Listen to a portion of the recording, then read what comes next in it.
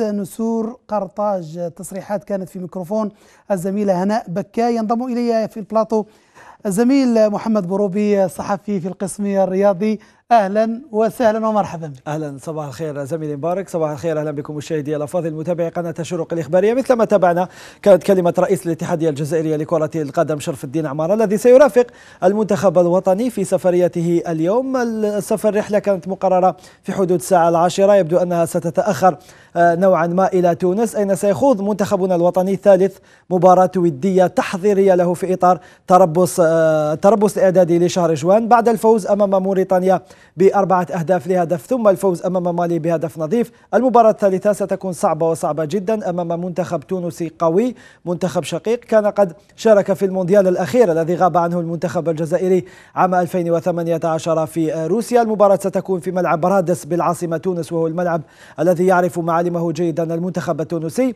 كما قلنا آه، بعد لحظات يمكن أيضا أن نشاهد صور مباشرة سترصدها لنا آه، موفدة قناة شروق الإخبارية الزميلة هناء بكاية المتواجدة بمطار الجزائر الدولي أين سيشد لاعبو المنتخب الوطني رحالهم إلى العاصمة تونس تحسبا لمواجهة نسور قرطاج مساء غد الجمعة بداية من الساعة الثامنة والنصف في ثالث مباراة تحضيرية لأشبال الناخب الوطني جمال بالماضي والثانية لمنتخب تونس. استمعنا لتصريح الرئيس رئيس الفاف شرف الدين عمارة الذي تحدث عن عديد النقاط.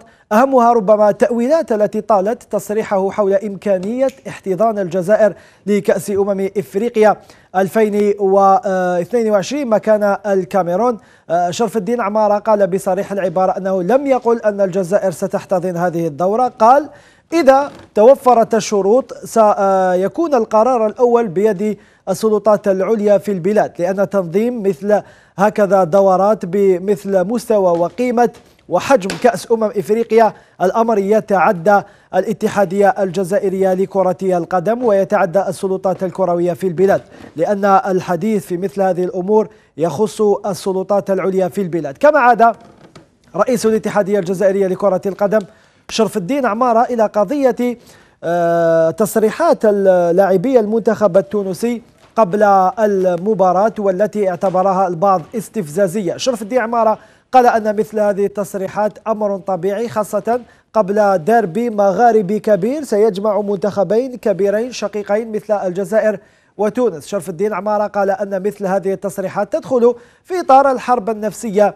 في الإطار الرياضي دائما ولا يجب أن تعطى أكثر من حقها. إذا كما قلنا عناصر المنتخب الوطني مثل ما نشاهد في هذه الصور كانت قد خاضت آه، مساء أمس بمركز تحضير المنتخبات الوطنية بسيدي موسى بالعاصمة. آخر حصة تدريبية لها في آه، مركز سيدي موسى قبل شد الرحال بعد دقائق معدودة من الآن إلى العاصمة آه، تونس. وكان بعض اللاعبين قد أدلوا بتصريحاتهم في المنطقة المختلطة التي كانت قد خصصت لرجال الإعلام. وتحدث بعض اللاعبين على غرار مهدي آه، زفان وكذا زرقان وبالليل وبونجاح. نعود إلى تصريحات لاعبي المنتخب الوطني أمس في المنطقة المختلطة بسيدي موسى والتي خصصت لرجال الإعلام. bien sûr bien sûr منتخب تونسي معروف بالأداء تاعه معروف باللاعبين اللي عنده الخبرة الإفريقية اللي عندهم آه، رانا قارين مليح كيفاش يلعبوا إن شاء الله آه، عندنا ثقة في في les joueurs اللي راح يلعبوا في في الطاقم الفني آه، نفس قلت لك المقابله نفس المقابلات اللي, لعبناهم وندخلوا بنفس العزيمة وبنفس القوة إن شاء الله باش نحققوا الفوز إن شاء الله. On est encore en train de, de se préparer. Déjà, on reste sur, sur deux victoires, ce qui est toujours bien pour, pour. On a, on a égalé un record d'Afrique et, euh, et c'est sûr que c'est de la meilleure manière qu'on va, qu'on va arriver en Tunisie vendredi euh, pour ce match et voilà, on va bien pré se préparer pour, pour aller gagner là-bas. Bien sûr المنتخب التونسي مليح يلعبوا كره مليحه احنا تاني ان شاء الله ماناش رايحين باش نحوسوا انا رايحين باش نجيبوا فوز ان شاء الله. Oui, c'est vrai qu'il y a une rivalité mais après euh, pour moi il y a, je dirais pas je dirais pas ça d'un match d'un match amical, tous les matchs sont importants. Donc voilà, on va jouer notre jeu, on va jouer à 100% pour faire le meilleur résultat possible. إذا هكذا كانت تصريحات لاعبي المنتخب الوطني مساء أمس في المنطقة المختلطة بمركز تحضير المنتخبات الوطنية بسيدي موسى. أين تحدث لاعبون لرجال الإعلام عن أهمية المباراة الودية والتي يرفض اللاعبون وحتى الناخب الوطني؟ هذه التسمية يؤكدون أنها مباراة تحضيرية مهمة جدا في مشوار المنتخب الوطني حتى وإن كانت بطبع ودي لكن لها أهمية كبيرة في ترتيب الفيفا وخاصة أمام المنتخب التونسي الذي يتفوق على المنتخب الوطني الجزائري في ترتيب الفيفا. ولهذا أكد جمال بالماضي في المؤتمر الصحفي الذي أعقب مباراة مالي أن الفوز بمباراة تونس ضروري وضروري جدا. لا يجب الحديث عن كونها مباراة ودية بل يجب وضع اللاعبين في أفضل الظروف للتركيز على تحقيق الانتصار في هذا الفوز. لأنه كما يعلم الجميع الفوز أمام تونس سيضع المنتخب الوطني في أفضل رواق لتجاوز نسور قرطاج في ترتيب الفيفا كما أن المباريات الفاصلة في تصفيات المونديال ستكون حاسمة وحاسمة جدا والمنتخبات التي ستكون في أفضل خمس مراتب إفريقية في ترتيب الفيفا ستستقبل على ملعبها على ملعبها أقول إيابا وهو الأمر الذي يريده الناخب الوطني جمال بالماضي. إذا في انتظار تصريحات أخرى من لاعبي المنتخب الوطني أو حتى الطاقم المسير. الزميلة هناء بكاي متواجدة دائما مفادة قناة الشروق متواجدة بمطار الجزائر الدولي. أين سيشد المنتخب الوطني رحاله إلى العاصمة تونس اليوم في الرحلة التي كانت مقررة في تمام العاشرة؟ لكن يبدو كما سلف الذكر أن الرحلة ستتأخر لبضع دقائق. المنتخب الوطني سيكون معنيا بحصة تدريبية في الميدان الرئيسي مساء اليوم في ملعب رادس الملعب الكبير بالعاصمة تونس في نفس توقيت المباراة. على أن تقام المباراة والقمة المغاربية مساء غد الجمعة بملعب رادس بداية من الساعة الثامنة والنصف. كما تابعنا مشاهدينا إذا كان قد تحدث الرئيس والاتحادية الجزائرية لكرة القدم شرف الدين عمارة تابعنا وإياكم التصريح مباشرة من مطار الجزائر الدولي. رئيس الفاف سيرافق المنتخب الوطني في رحلته إلى تونس أين سيخوض ثالث مباراة ودية تحضيرية. شرف الدين عمارة عاد للحديث عن عديد الأمور والنقاط المهمة. أين أكد أنه لم يتحدث عن نية الجزائر في تنظيم كأس أمم إفريقيا في حال انسحاب الكاميرون وقال أن هذا الأمر يخص السلطات العليا بالدرجة الأولى. وأوضح أن البيان التوضيحي الذي نشرته الفاف جاء ليؤكد أن ما قاله شرف الدين عمارة لا يعدو أن يكون سوى توضيحا أن الجزائر لها من الإمكانات ما يسمح لها بتنظيم الدورة لكن لا يمكن المبادرة بأي قرار مماثل. دون أخذ موافقة واستشارة السلطات العمومية في البلاد.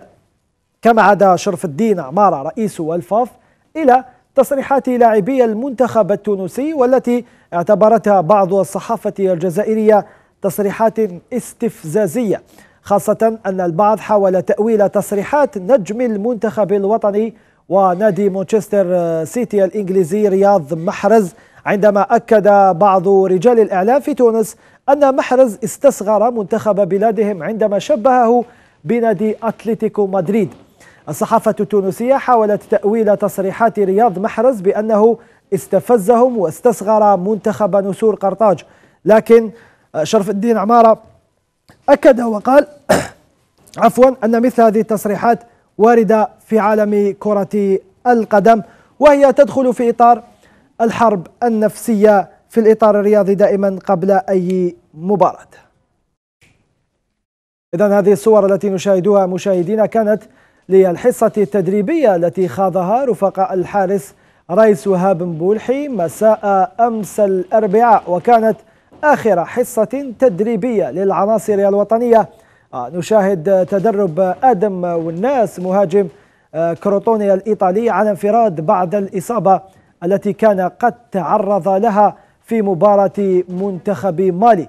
أين دخل بديلا لبالليل ثم استبدل هو الآخر بعد 12 دقيقة فقط بعد تعرضه لإصابة كانت تبدو بلغة على مستوى الرأس. أدم الناس تدرب على انفراد وحتى مشاركته في مباراة تونس يوم غد تبقى مستبعدة جدا. إذا كما قلنا هذه الصور كانت أمس من آخر حصة تدريبية لعناصر المنتخب الوطني قبل التوجه إلى تونس بعد دقائق من الآن تحسبا لمواجهة المنتخب التونسي الشقيق في المباراة التي ستلعب غدا الجمعة بداية من الساعة الثامنة والنصف مساء. إذا كما قلنا زميلي مبارك في انتظار آه، إن أمكن تصريحات أخرى الزميلة هناء بكاي موفدة قناة الشروق الإخبارية متواجدة دائما في مطار الجزائر الدولي. أين سيشد لاعبو المنتخب الوطني رحالهم إلى العاصمة تونس في الرحلة التي نذكر كانت مقررة في تمام العاشرة ويبدو أنها تأخرت لبعض الوقت.